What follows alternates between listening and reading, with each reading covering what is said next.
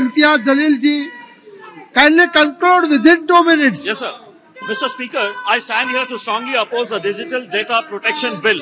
And why I'm saying this is because it raises serious questions, and one of them is the excessive centralization of power.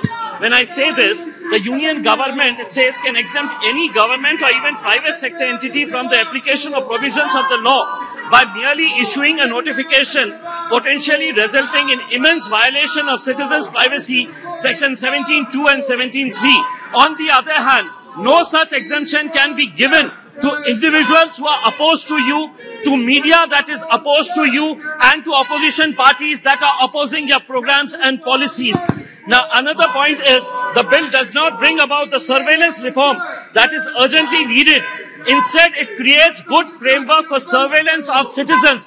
Mr. Minister, your government in Maharashtra had already done surveillance through using the police department and it was done in Maharashtra by the BJP government. We need to see clarification on this. One minute, sir. This bill also raises serious concerns over widening of uh, censorship.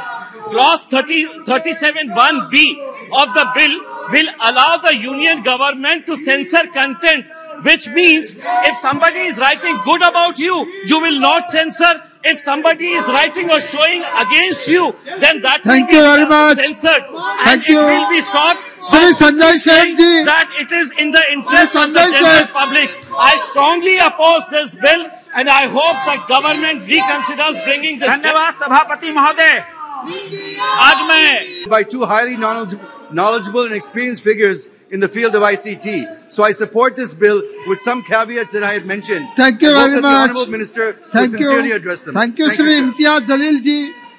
Kindly conclude within two minutes. Yes, sir. Mr. Speaker, I stand here to strongly oppose the Digital Data Protection Bill. And why I'm saying this is because it raises serious questions, and one of them is the excessive centralization of power. When I say this, the union government, it says, can exempt any government or even private sector entity from the application of provisions of the law by merely issuing a notification potentially resulting in immense violation of citizens' privacy, section 17.2 and 17.3. On the other hand, no such exemption can be given to individuals who are opposed to you, to media that is opposed to you, and to opposition parties that are opposing your programs and policies. Now, another point is the bill does not bring about the surveillance reform that is urgently needed. Instead, it creates good framework for surveillance of citizens. Mr. Minister, your government in Maharashtra had already done surveillance through using the police department and it was done in Maharashtra by the BJP government. We need to see clarification on this. One minute, sir.